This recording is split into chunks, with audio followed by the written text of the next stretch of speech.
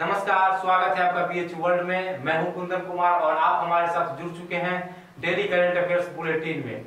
दोस्तों, आज है 11 नवंबर और 11 नवंबर के 10 महत्वपूर्ण प्रश्न और उसके उत्तर के व्याख्या के साथ हम आपके साथ उपस्थित है डेली करंट अफेयर्स बुलेटिन के साथ। तो आइए, आज इस सफ़र की शुरुआत करते हैं। आज हमारा सबसे पहला क्वेश्चन है, सुप्रीम कोर्ट ने अयोध्या विवाद, राम जन्मभूमि बनाम बाबरी मस्जिद का ऐतिहासिक फैसला कब सुनाया? यह सुप्रीम कोर्ट का बहुत ही ऐतिहासिक फैसला है और ये सुनाया गया है 9 नवंबर को।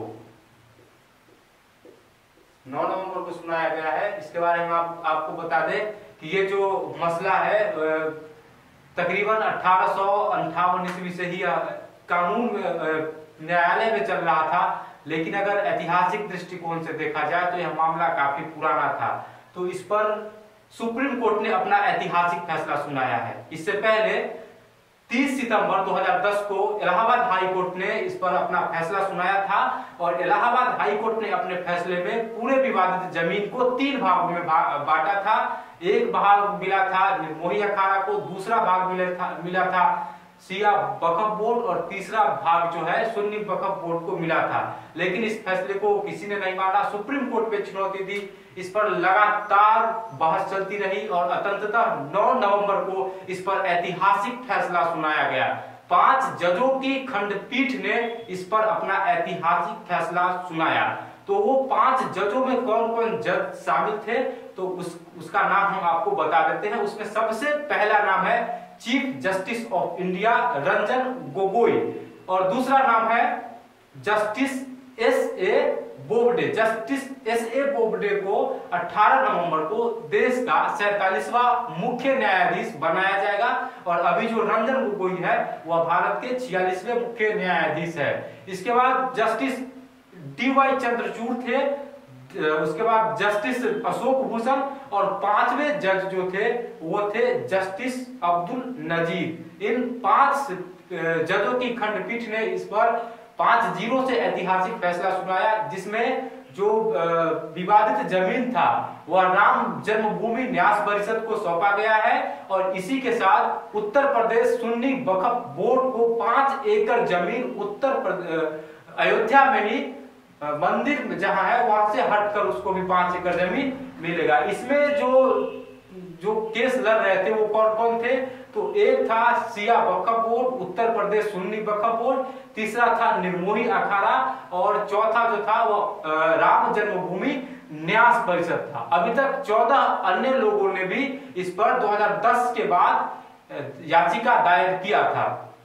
अब हम बात करें आज का हमारा जो दूसरा क्वेश्चन है, उसका। दूसरा क्वेश्चन है एएसआई का पूरा नाम क्या है? एएसआई विभिन्न संदर्भों में इसका पूरा नाम कुछ और हो सकता है, लेकिन हम जिस संदर्भ में बात कर रहे हैं, उसका तार कहीं ना कहीं अयोध्या विवाद का जो फैसला आया है, उससे इसका संबंध है। तो इसका पूरा नाम होता है archaeological survey of India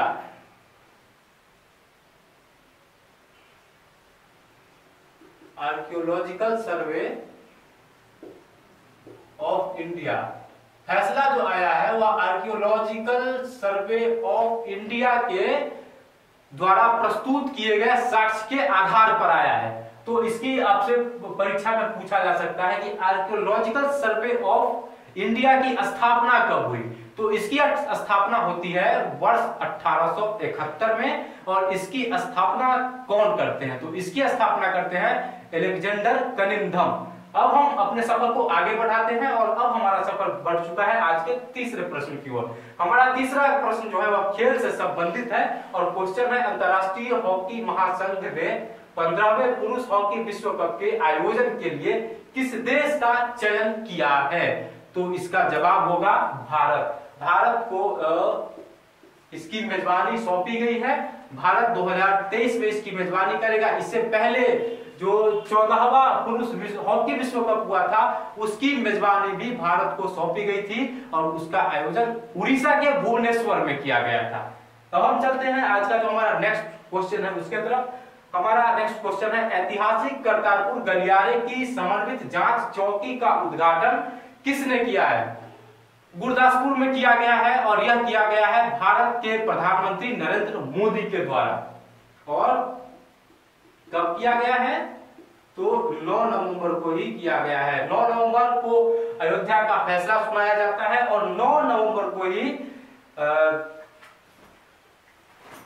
9 नवंबर को ही नरेंद्र मोदी के द्वारा गुरदासपुर में करतारपुर गलियारे की समन्वित जाँच चौकी का उद्घाटन किया जाता है। अब हमारा अगला क्वेश्चन जो है, वह है, हाल ही में निवेशक शिखर सम्मेलन का आयोजन कहाँ किया गया है? निवेशकों को आकर्षित करने के लिए इस सम्मेलन का आयोजन किया गया था हिमाचल प्रदेश के शिमला में। अगला क्वेश्चन हमारा इसी से संबंधित है और अगला क्वेश्चन है इन्वेस्टर हेवन राइजिंग हिमाचल का विमोचन किसने किया?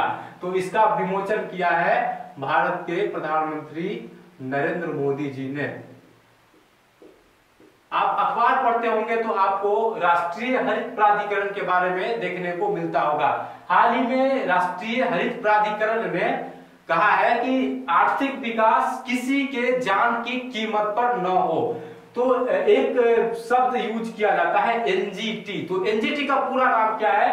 तो एनजीटी का पूरा नाम होता है नेशनल ग्रीन ट्रिब्यूनल और इसी का हिंदी नाम है राष्ट्रीय हरित प्राधिकरण।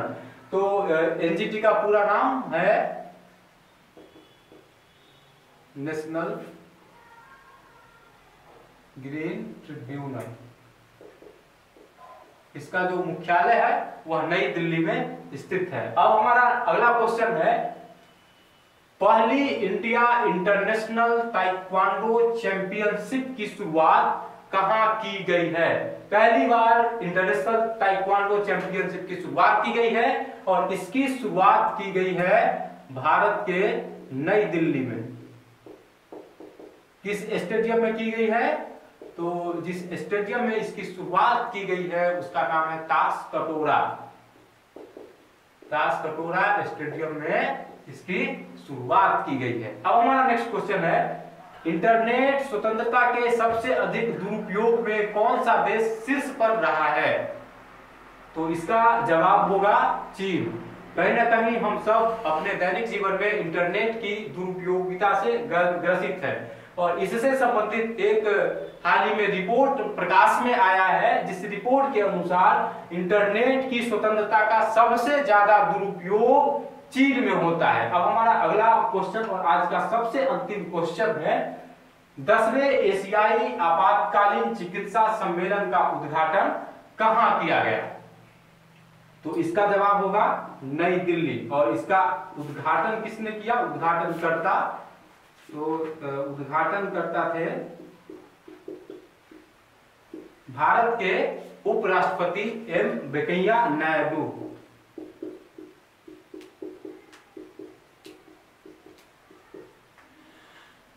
तो दोस्तों, ये था आज का हमारा डेली करंट अफेयर्स बुलेटिन आज के इस एपिसोड आज का एपिसोड खत्म हो, उससे पहले बारी आती है आपसे क्वेश्चन पूछने की। तो सबसे पहले आपसे प्रीवियस वीडियो में जो क्वेश्चन पूछा गया था, उसका जवाब आपको बता दें। आपसे पूछा गया था ब्रिक्स का पूरा नाम। तो ब्रिक्स का पूरा नाम होता है बी से Brazil, R for Russia I for India, C for China और एस फोर साउथ अफ्रीका। फिर आपसे पूछा गया था ब्रिक्स की स्थापना कब की गई है? तो ब्रिक्स की स्थापना की गई है जून 2006 ईस्वी में। और तीसरा क्वेश्चन आपसे था यूएई की राजधानी कहाँ है? यूएई की राजधानी है आबू धाबी में। और अब आप, आज का क्वेश्चन आज का सबसे पहला क्वेश्चन है, आपको बताना है एनजीटी राष्ट्रीय प्राधिकरण, राष्ट्रीय हरित प्राधिकरण की स्थापना कब हुई? पहला क्वेश्चन दूसरा क्वेश्चन आपके लिए है, भारत के सैतालीसवें मुख्य न्यायाधीश कौन बनने वाले हैं? और तीसरा क्वेश्चन आपसे है, भारत के छियालीसवें मुख्य न्यायाधीश का कार्यकाल कब समाप्त हो रहा है? दोस्तों, अगर आपको हमारा वीडियो पसंद आया हो तो आप इस वीडियो को लाइक शेयर और कमेंट ज़रूर करें। और साथ ही अगर अभी तक आपने हमारे इस YouTube चैनल को सब्सक्राइब नहीं किया है तो इस YouTube चैनल को सब्सक्राइब कर ले, ताकि बीएचयू से संबंधित हर छोटी भरी छोटी भरी खबरों की नोटिफिकेशन आपके मोबाइल तक पहुँचती रहे। साथ ही फिर होगी अगले वीडियो में मुलाकात। तब तक धन्यवाद।